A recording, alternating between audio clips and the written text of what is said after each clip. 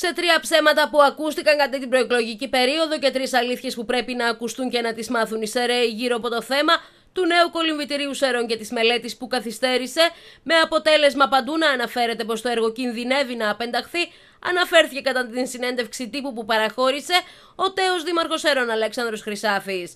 Ο κύριος Χρυσάφης ανέφερε πως ναι, μεν όταν ανέλαβαν τη διοίκηση του Δήμου το 2019 τα χρήματα ήταν εγκεκριμένα, αλλά υπήρχε μια παλιά μελέτη η οποία, εάν επικυροποιούνταν, το νέο κολυμβητήριο δεν θα μπορούσε να λειτουργήσει γιατί δεν θα ήταν βιώσιμο. Έτσι αποφασίστηκε να γίνει νέα προγραμματική με επιπλέον χρηματοδότηση με την βοήθεια του πρώην Υπουργού Υποδομών Κώστα Καραμαλή. Η δημοπράτηση της σύμβασης έγινε στις 10 Μαρτίου του 2021. Πρώτο ψέμα είναι ότι δεν κάνατε τίποτα από το 19 και δεν ξεκινήσατε κάτι που βρήκατε έτοιμο.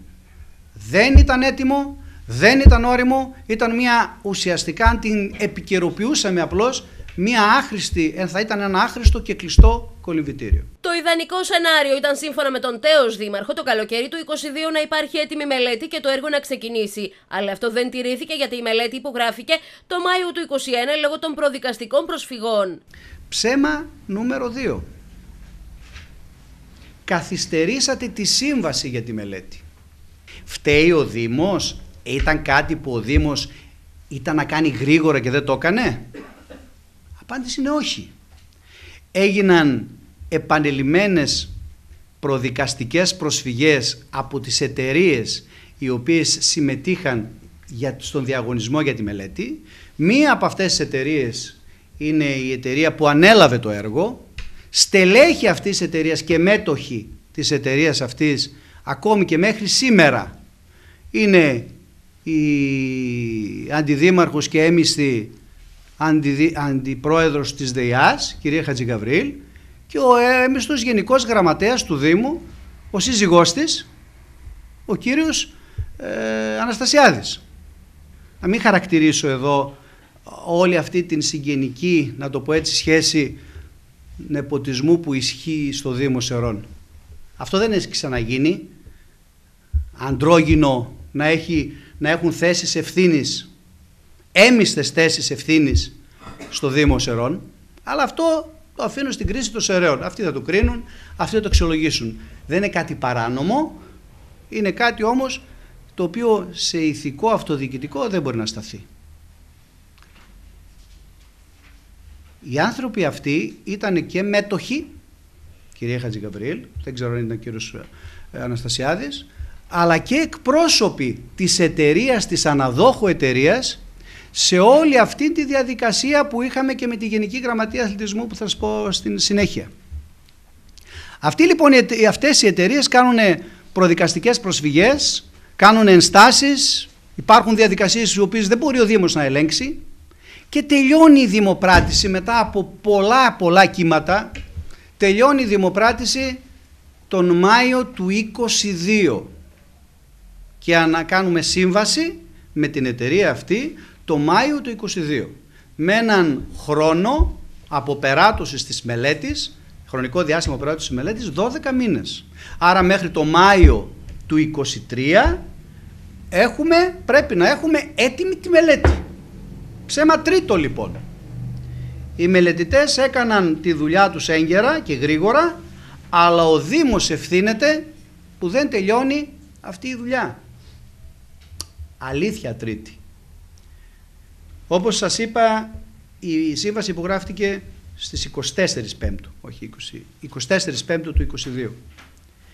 Ξέρετε πότε πήγε η μελετική ομάδα τα σχέδια, τα αρχιτεκτονικά σχέδια στη Γενική Γραμματεία Αθλητισμού; Τα πήγε στις 13 Δωδεκάτου του 22 Σύμφωνα με τον τέος Δήμαρχο, η Γενική Γραμματεία υπέδειξε με έγγραφό της πως το έργο κινδύνευε να απενταχθεί με υπηρετιότητα της μελετητικής εταιρείας.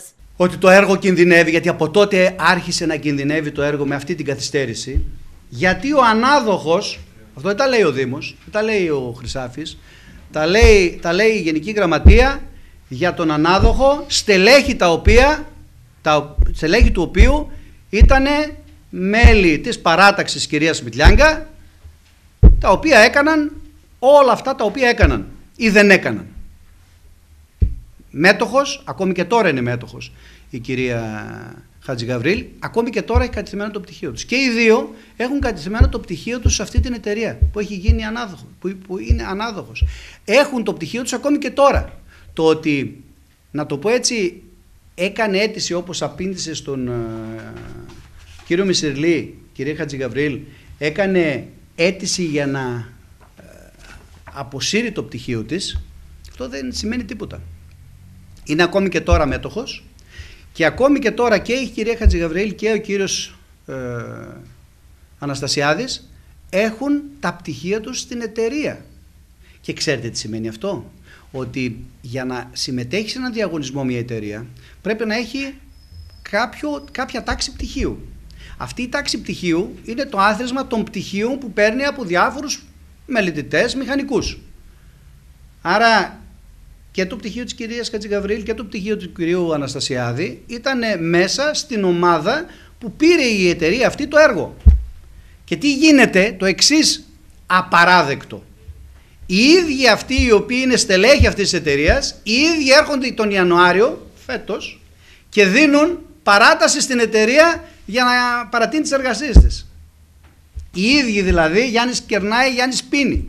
Οι ίδιοι που είναι οι μέτοχοι, οι ίδιοι οι οποίοι είναι τα πτυχία τους κατηθεμένα στη Γενική Γραμματεία, στην, ε, στο, στο Υπουργείο για την εταιρεία, οι ίδιοι έρχονται και λένε ναι, συμμετέχουν δηλαδή σε όργανο το οποίο δίνει παράταση στην εταιρεία. Πόσο νόμιμο και ηθικό είναι αυτό; 20 μέρες πριν την καταληκτική ημερομηνία υποβολής της σύμβασης, σύμφωνα με τον κύριο Χρυσάφη, η εταιρεία κάνει διακοπή εργασιών γιατί δεν είχε πληρωθεί από το πρόγραμμα δημοσίων επενδύσεων και σε καμία περίπτωση αυτό δεν έγινε με υπετιότητα του Δήμου. Το ποσό που είχε αναλάβει η εταιρεία ήταν 60.000 ευρώ. Και σαν να μην έφτανε αυτό. Δεν, φτάνει, δεν σταματάει εκεί όλο αυτό το σκάνδαλο με αυτή την εταιρεία, με αυτή την, τη συμπεριφορά τους.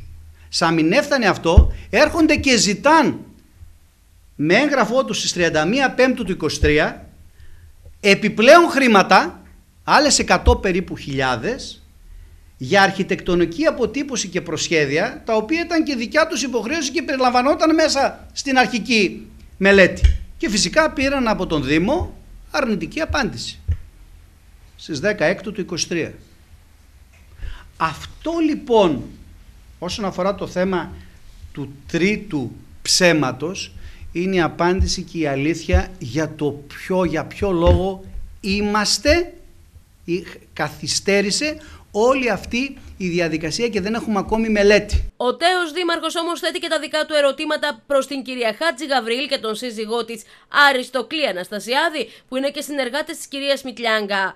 Ο κύριος Χρυσάφης αποκάλυψε μάλιστα πως ο Γενικός Γραμματέας του Δήμου, Άρης Αναστασιάδης, ήταν ο εκπρόσωπος της εταιρείας που πήγαινε και συνομιλούσε με τη Γενική Γραμματεία Αθλητισμού και καθυστερούσε για την μελέτη.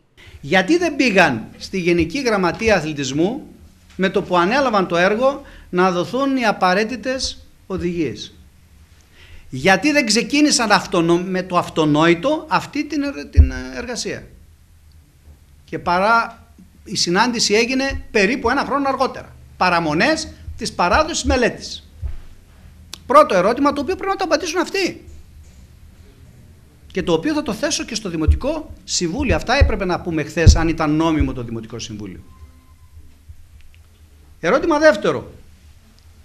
Πόσο ηθικό και νόμιμο είναι να είναι μέτοχος σε αυτή την εταιρεία στην οποία συμμετέχει, που είναι η ανάδοχος εταιρεία, να είναι η κυρία Χατζηγαβρίλ και ο κύριος και ο σύζυγός της, ο κύριος Αναστασιάδης Άρης, ο έμιστος γενικός γραμματέας του Δήμου. Ένας ζευγάρι δηλαδή που έχει τις πιο βασικές θέσεις στο Δήμο για τα έργα, γενικός γραμματέας, έμιστη, έτσι. Και που από πολλούς λέγεται ότι διοικούν αυτή τη στιγμή το Δήμο. Και ο Γενικός Γραμματέας, ξέρετε, είναι ο εκπρόσωπος της αναδόχου εταιρείας στην συνάντηση που έγινε με το, και συναντήσεις που γινόταν με το Υπουργείο, με, το, με την Γενική Γραμματεία Αθλητισμού. Εκπροσωπούσε δηλαδή, προσέξτε, τον, τον, τον 23, σύζυγός του ήταν υποψήφια, και αυτός εκπροσωπούσε απέναντι ουσιαστικά στο Δήμο την εταιρεία η οποία για τους λόγους που είπαμε καθυστερούσε τη μελέτη. Πόσο νόμιμο και πόσο ηθικό είναι αυτό. Ερώτημα 3, το οποίο είναι και βασικό και είναι και κρίσιμο πλέον. Το πιο κρίσιμο ερώτημα. Η μελέτη θα είναι έτοιμη μέχρι τον Αύγουστο του 23, του 24.